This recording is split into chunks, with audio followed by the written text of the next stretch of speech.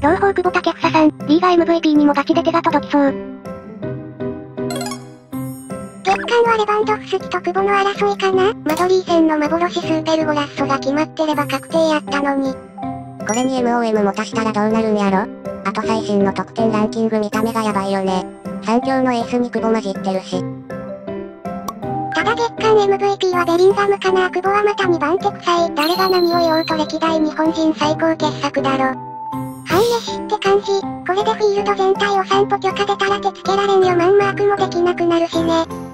竹が省エネできるようなチーム戦術から、竹が自由にやれるチーム戦術に進めるかどうかが今後の焦点。